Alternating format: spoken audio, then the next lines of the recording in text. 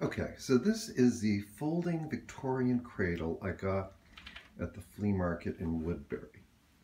And that's Aldo. I got the cradle home and Steve said, what the hell are you going to do with that?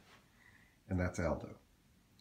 Looking at the cradle in the window, wondering, is somebody going to rock the cradle? It could happen. Oh, and there goes Aldo into the cradle, which is quite possibly his very favorite thing in the entire world. But who wouldn't want to be in a cradle getting rocked? The only thing that would make it even better is if I open the window. Then we are in complete and total cat in the cradle rocking nirvana.